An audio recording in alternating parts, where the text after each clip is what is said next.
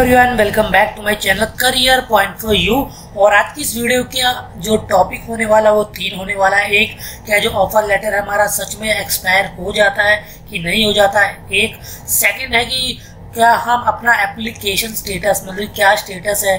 Progress में है process में है, ठीक है? कब तक ऑफ़र लेटर आने के चांसेस है? इसके बारे में बात करेंगे। थर्ड और काफ़ी इम्पोर्टेंट वाला कि हमें सिलेक्शन मेल आ गया तो कब तक ज्वाइनिंग होगी?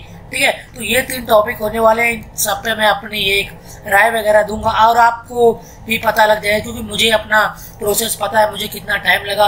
तो इससे आपको भी एक आइडिया मिल जाएगा कि हाँ कि हमें कितना लग सकता है, ठीक है? तो सारी चीज़ें मैं आपको वन बाय वन बताने वाला हूँ, लेकिन उससे पहले अगर आप हमारे चैनल पे न्यू हो और अभी तक आपने हमारा चैनल सब्सक्राइब नहीं किया तो चैनल को सब्सक्राइब कर लेना। बेल आइकन ज़रूर प्रेस करना ताकि इन फ्यूचर में किसी भी तरह के किसी भी टॉपिक पे कोई भी अपडेट अगर लेके आओ तो आपको नोटिफिकेशन मिल जाए, ठीक है? ऑलरेडी हमने बहुत सारी कंपनी से रिलेटेड अगर किसी भी तरह की छोटी से छोटी अपडेट ही क्यों ना हो, अगर हमने लेके आई है तो वीडियो ज़रूर बनाई है ऑलरेडी हमने बहुत सारी वीडियो कवर कर रखी, चाहे वो ऑफ़ कैंपस हायरिंग से रिलेटेड हो, चाहे किसी कंपनी से कोई अपडेट आई हो।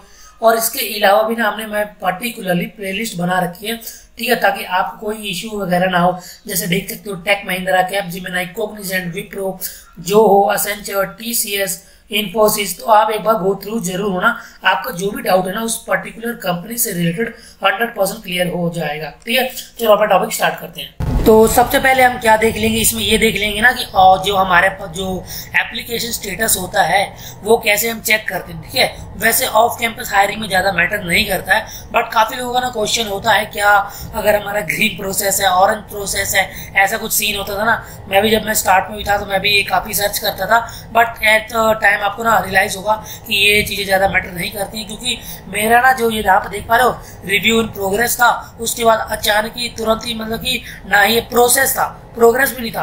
प्रोसेस था, उसके बाद ये चेंज हुआ। आई थिंक दो दिन के अंदर प्रोग्रेस हुआ। काफ़ी टाइम लगा प्रोसेस से प्रोग्रेस जाने में, ठीक है? तो पहले मैं आपको वहाँ ले चलता हूँ। कहाँ से आप ये चेक करते हैं, वहाँ पे हम डिस्कस कर लेंगे, ठीक है? तो यहाँ पे आपने क्या करना है, ये देखो इन्फोसिस क्या लिखना आपने? Career dot Infosys dot com ठीक है? तो यहाँ पे आप जैसे ही जाओगे ना तो वहाँ पे आपको जाने के बाद आपको क्या भरना है? अपना ईमेल एड्रेस जिससे भी आपने सर्वे फॉर्म फिल किया था ना ऑनलाइन टेस्ट से। वो फिल करोगे ना तो और फॉरगेट पासवर्ड पे आप जाना, वहाँ से आप अपना पासवर्ड सेटअप कर लेना। तो अब मैं अपना कर लिया हमने। तो लॉगिन करने के बाद ये जो आता है प्रोसेस तो यहाँ पर देख सकते हो, ये है मेरा एप्लीकेशन स्टेटस ठीक है? तो यहाँ पर देख सकते हो, मैंने मेरे, मैंने जो एग्ज़ाम दिया था, तेईस नवंबर 2022 को, ठीक है? और यहाँ एक चीज़ बताऊँ ना, ये दिख रहा है अप्लाइड प्रोग्रेस प्रोग्रेस पता कब आया था? मैंने अट्ठाईस, क्या बोलते हैं? हाँ नौ फरवरी को मेरा ऑनलाइन हो गया मतलब इंटरव्यू हो? गया। नौ फरवरी से लेके आई थिंक उन्नीस, बीस फरवरी तक ना प्रोसेस ही था। ठीक है? उसके बाद ये चेंज हुआ, अठारह या उन्नीस फरवरी को प्रोग्रेस में और उसके आई थिंक 10 से 15 दिनों के बाद ऑफ़र रिलीज़ हुआ, ठीक है? यानी कि जो मिनिमम टाइम होता है ना मिनिमम क्या मतलब कि एवरेज टाइम होता है कि आपका ऑफ़र लेटर रिलीज़ होने में मेरा वही लगा है, ठीक है? तो यहाँ पे आप देख पा रहे हो देखो ज्वाइन तक आ चुका है। तो मैंने आपको बता भी दिया कि आपने कैसे इसमें लॉग करना है, क्या चीज़ें इंपॉर्टेंट है, ठीक है? और कितना टाइम लगता है आपका प्रोसेस से प्रोग्रेस जानने में और प्रोग्रेस से ऑफ़र लेटर रिलीज़ होने में, ठीक है? ये बात रही हमारी एप्लीकेशन स्टेटस की। तो अब आते हैं हमारे सेकंड क्वेश्चन पे, जो है कि कि अगर हमारे पास सिलेक्शन मेल आ चुका है इन्फोसिस के द्वारा, ठीक है? और अराउंड हम पाँच से छः महीने या आठ या नौ महीने से वेट करें, नौ महीने तो नहीं होगा अराउंड मान लो अगर आपको सबसे लेटेस्ट वाला रीच सबसे ओल्डेस्ट तो आपका मार्च वाला, ठीक है? मार्च से लेके अभी तक अराउंड हो चुके हैं आठ महीने, ठीक है?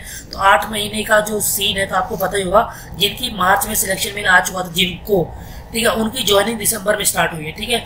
और अगर यही सेम टेम्पलेट अगर हम फॉलो करें तो दिसंबर का जो है मार्च वालों का है जनवरी हो सकता है अप्रैल वालों का, और फरवरी हो सकता है मई वालों का, ठीक है?